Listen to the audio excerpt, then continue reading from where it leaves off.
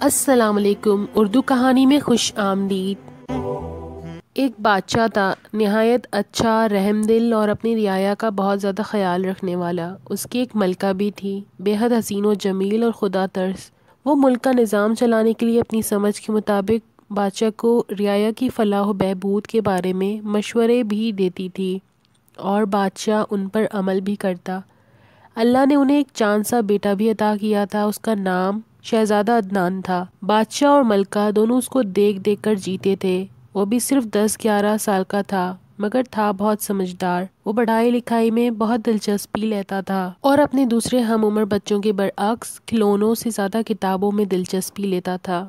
بادشاہ کو اس کی اس دلچسپی کا علم تھا، اس لیے وہ دور دراز کے ملکوں سے قصے کہانیوں کی کتابیں منگوا کر اس کو دیتا تھا۔ اور شہزادہ ان کتابوں کو بڑی دلچسپی سے پڑھا کرتا تھا۔ ان کتابوں کے پڑھنے سے اس کی عقل و شعور میں اضافہ بھی ہوتا تھا اور اس کو طرح طرح کی معلومات بھی حاصل ہوتی تھی۔ شہزادہ عدنان کے تعلیق سے مختلف مضامین پڑھاتے تھے۔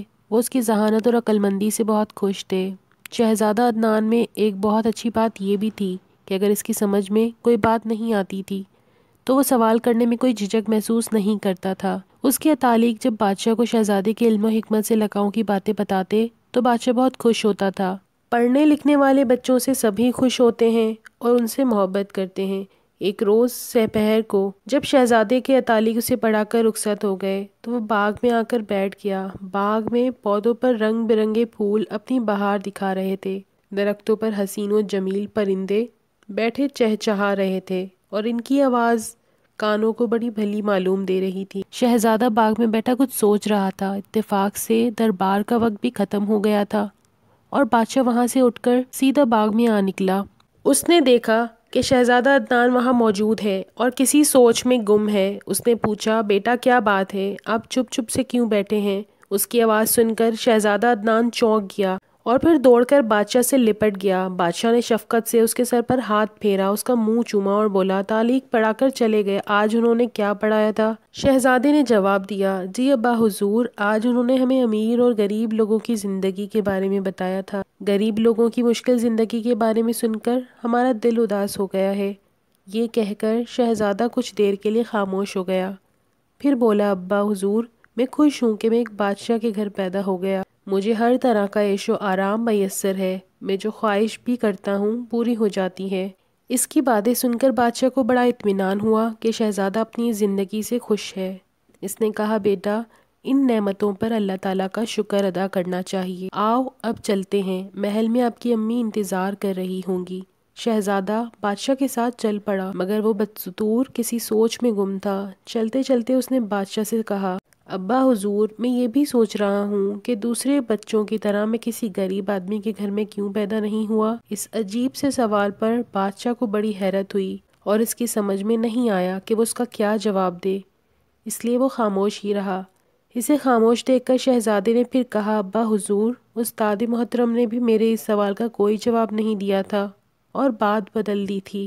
آپ بہت اچھے ہیں۔ میری تعلیم و تربیت کے لیے نہایت قابل اور ذہین تعلیق مقرر کیے ہیں جو مجھے محل میں آ کر مختلف علوم کے بارے میں پڑھاتے ہیں۔ میں کسی بھی خواہش کروں پوری ہو جاتی ہے۔ میں کہیں باہر جاؤں تو میری حفاظت کے لیے بہت سے سپاہی میرے ساتھ ہوتے ہیں۔ میں سوچتا ہوں، دوسرے بچوں کے ساتھ ایسا کیوں نہیں ہوتا؟ مجھ میں کیا خاص بات ہے جو ان تمام بچوں میں نہیں؟ بادشاہ لاجواب سا ہو گیا تھا۔ شہزادی کی باتوں نے اسے فکر مند بھی کر دیا تھا۔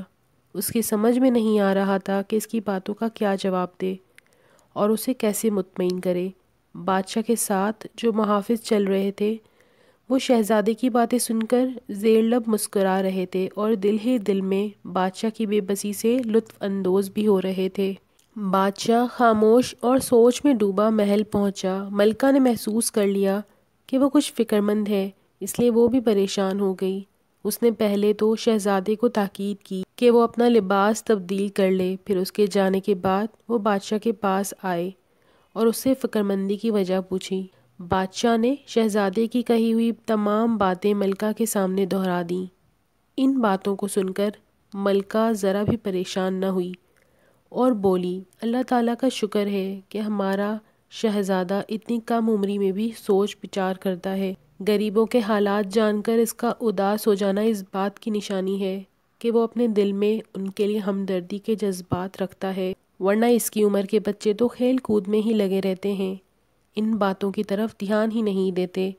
آپ فکر نہ کریں، میں شہزادے سے اس بارے میں بات کروں گی اور یہ پتہ لگانے کی کوشش کروں گی کہ اس کے ذہن میں اس طرح کے سوالات کیوں اٹھ رہے ہیں۔ بادشاہ کو ملکہ کی اس بات سے اطمینان ہوا۔ شام کو ملکہ نے شہزادے کو اپنے کمرے میں طلب کیا اور اس کے ساتھ کھڑکی کے پاس آ کر بیٹھ گئی۔ اس طرح طلب کیے جانے پر شہزادہ عدنان سمجھ گیا تھا کہ بادشاہ نے اس کی باتوں کا تذکرہ ملکہ سے ضرور کیا ہوگا۔ اس لیے وہ اپنی ماں کو دیکھ کر شرارت سے مسکرایا اور بولا، امی حضور، جو پوچھنا ہے پوچھئے، میں آپ کو ضرور بتاؤں گا اس کی بات پر ملکہ کو ہنسی آ گئی۔ وہ بولی، شہزادے، آپ بہت شریر ہو گئے ہیں۔ آپ کی سمجھ میں ساری باتیں آنے لگی ہیں شہزادہ فوراً بولا سوائے ایک بات کے۔ ملکہ نے کہا، وہ بات آپ کے ابا حضور مجھے بتا چکے ہیں۔ آپ تو مجھے صرف اس بات سے آگاہ کر دیں کہ ان سوچوں سے آپ کا مقصد کیا ہے۔ ملکہ کی بات سن کر شہزادہ عدنان سنجیدہ ہو گیا اور بولا، امی حضور، میں اچھی طرح جانتا ہوں کہ ابا حضور وزیروں کو، امیروں کو اور اپنے درباریوں کو بغیر کسی وجہ کے بیش پہا انعامات سے نوازتے رہتے ہیں۔ انہیں یہ انعامات ان کی خوشامد بھری تعریفوں کے سلے میں ملتے ہیں۔ شہزادے کی بات سن کر ملکہ ہکا بکا رہ گئی۔ اس نے گھبرا کر شہزادے کے منہ پر ہاتھ رکھ دیا اور ادھر ادھر دیکھتے ہوئے سرزنش بھرے لہجے میں بولی، شہزادے، خاموش رہیے، اپنی عمر کا خیال کیجیے اور بڑوں کے بارے میں اس طرح کے استاخانہ خیالات کا اظہار نہ کیجیے۔ ملکہ کی بات سن کر شہزادہ ذرا بھی پریشان نہیں ہوا۔ بولا، امی حضور، آپ میری امی ہیں، میں آپ سے اپنے دل کی ہر بات کر سکتا ہوں ملکہ خاموش تو ہو گئی، مگر وہ تشویش بھری نظروں سے شہزادے کو دیکھے جا رہی تھی۔ شہزادے نے جب دیکھا کہ ملکہ بہت سنجیدہ اور فکر مند ہو گئی ہے، تو اس نے کہا، امی حضور، آپ ناراض ہو گئی ہیں، مجھے معاف کر دیجیے ملکہ نے پیار سے شہزادے کو خود سے لپٹا لیا اور بولی، شہزادے، میری جان میں غلطی پر تھی، آپ نے بہت اچھا کیا جو یہ باتیں مجھ سے کہہ دیں۔ تمام بچوں کو اپنے دل کی بات اپنی ماں سے کہہ دینا چاہیے۔ دنیا میں ماں سے بہتر دوست کوئی نہیں ہوتا۔ یہ ماں ہی تو ہوتی ہے جو اپنے بچوں کو صحیح مشورے دے سکتی ہے۔ اچھا اب مجھے آپ آسان الفاظ میں بتائیے کہ مسئلہ کیا ہے۔ آپ کے ذہن میں ایسے خیالات کیوں آ رہے ہیں؟ شہزادہ کچھ دیر تک تو سوچتا رہا، پھر دھیرے سے بولا، امی حضور جب میں محل کی برجی پر چڑھ کر شہر کا نظارہ کرتا ہوں، تو مجھے روزانہ بہت سے بچے دور بازاروں میں نظر آتے ہیں۔ بچے محنت مزدوری میں مصروف ہوتے ہیں۔ کوئی انہیں جھڑکتا ہے، کوئی بے عزتی کرتا ہے، کوئی دھکے دیتا ہے، مگر اس کے باوجود وہ بچے محنت مزدوری کے کاموں میں لگے رہتے ہیں اور شام کو چند سکے لے کر گھر چلے جاتے ہیں۔ یہ سب کچھ دیکھ کر میں اداس ہو جاتا ہوں۔ میں یہ بھی سوچتا ہوں کہ میں اگر محل میں پیدا نہ ہوتا تو میں بھی انہی کی طرح کا ایک بچہ ہوتا۔ مجھے بھی محنت مزدوری کر کے اپنے ماں باپ کا ہاتھ پٹانا پڑتا۔ یہ کہہ کر شہزادہ عدنان نے پیار سے ملکہ کے گلے میں باہیں ڈال دیں اور پھر بولا، امی حضور، میں چاہتا ہوں کہ ان بچوں میں سے کوئی بچہ بھی مزدوری نہ کرے۔ یہ سب تعلیم حاصل کریں۔ کھیلیں، کودیں، جیسا کہ میں کرتا ہوں۔ تعلیم حاصل کر کے جب وہ بڑے ہو جائیں تب ہی محنت، مزدوری اور دوسرے کاموں کا سوچیں۔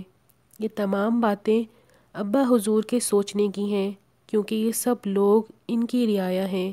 ذرا ذرا سی بات پر خوش ہو کر لوگوں پر انعام و اکرام کی بارش کرنے سے بہتر ہے کہ یہی دولت رعایا کی بہتری کے لیے خرچ ہو۔ جگہ جگہ مکتب ہوں اور ملک کا ہر بچہ ان میں پڑھے اور ان کی تعلیم کا سارا خرچ سرکاری خزانے سے ادا ہو۔ شہزادی کی باتیں سن کر ملکہ کی آنکھوں میں آنسو آ گئے۔ اتنے میں دروازے کا پردہ ہٹا اور بادشاہ سلامت نے کمرے میں قدم رکھا۔ اس نے ملکہ اور شہزادی کی تمام باتیں سن لی تھیں۔ اسے دیکھ کر شہزادہ ادب سے کھڑا ہو گیا۔ بادشاہ نے قریب آ کر شہزادے کو گلے سے لگا لیا اور کہا، بیٹا، آج تم نے ہماری آنکھیں کھول دی ہیں۔ ہمیں احساس ہو گیا ہے کہ ہم نے بچوں کی تعلیم اور ان سے مزدوری کروانے جیسے اہم مسئلے کی طرف ذرا بھی دھیان نہیں دیا تھا اور نہ ہی ہمارے کسی نالائق وزیر نے کبھی ہماری توجہ اس طرف دلوائی تھی۔ ہماری بہت بڑی غلطی تھی۔ ہم چاہتے تو اس سلسلے میں بہت کچھ کر سکتے تھے۔ اس کے بعد بادشاہ اپنے وزیروں کے ساتھ سر جوڑ کر بیٹھ گیا۔ مسلسل کئی دنوں کی سوچ بچار اور صلاح و مشوروں کے بعد اس نے ملک بھر میں جگہ جگہ مکتب بنوائے، ان میں پڑھے لکھے بہترین اطالق مقرر کیے۔ اس کے بعد ملک بھر میں منادی کروا دی گئی کہ آج کے بعد کوئی بھی بچہ مزدوری نہیں کرے گا۔ لڑکی ہو یا لڑکا، تعلیم حاصل کرنا سب پر لازم ہوگا۔ جو والدین اپنے بچوں کو مکتبوں میں داخل نہیں کروائیں گے، انہیں بادشاہ کے سپاہی گرفتار کر کے جیل میں ڈال دیں گے۔ جو والدین اپنے بچوں کو ان سرکاری مکتبوں میں پڑھنے کے لیے بھیجیں گے، انہیں فی بچہ ایک اشرفی ماہانہ وظیفے میں ملے گا۔ سارے ہی ماں باپ چاہتے ہیں کہ ان کی اولاد زیور تعلیم سے آراستہ ہوں اس اعلان نے سارے ملک میں خوشی کی ایک لہر دوڑا دی تھی۔ لوگ جوک در جوک اپنے بچوں کو تعلیم حاصل کرنے کے لیے ان مکتبوں میں بھیجنے لگے۔ وہ لوگ جھولی پھیلا پھیلا کر اپنے بادشاہ کو دعائیں دیتے تھے۔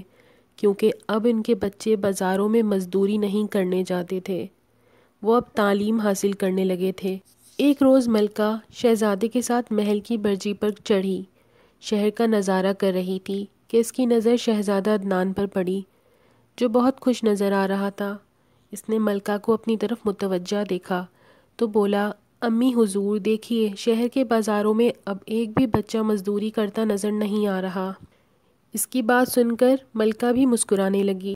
تھوڑے ہی دنوں بعد اس تبدیلی کے آثار نظر آنے لگے۔ سچ ہے، تعلیم ہی انسان کو حقیقی معنوں میں انسان بناتی ہے۔ بادشاہ کے ملک میں بھی ایسا ہی ہوا۔ جب سب بچے تعلیم سے فراغت کے بعد عملی زندگی میں داخل ہوئے، تو انہوں نے جو پیشہ بھی اپنایا، اس میں اپنی تعلیم کی وجہ سے خوب کامیابی حاصل کی۔ آس پاس کی حکومتوں کے لوگ اس بادشاہ کے ملک کی ترقی اور اچھی حالت دیکھ کر اس کی مثالیں دیا کرتے تھے۔ انہیں کیا پتہ تھا کہ اس تبدیلی کے پیچھے نیک دل شہزادے عدنان کا ہاتھ تھا۔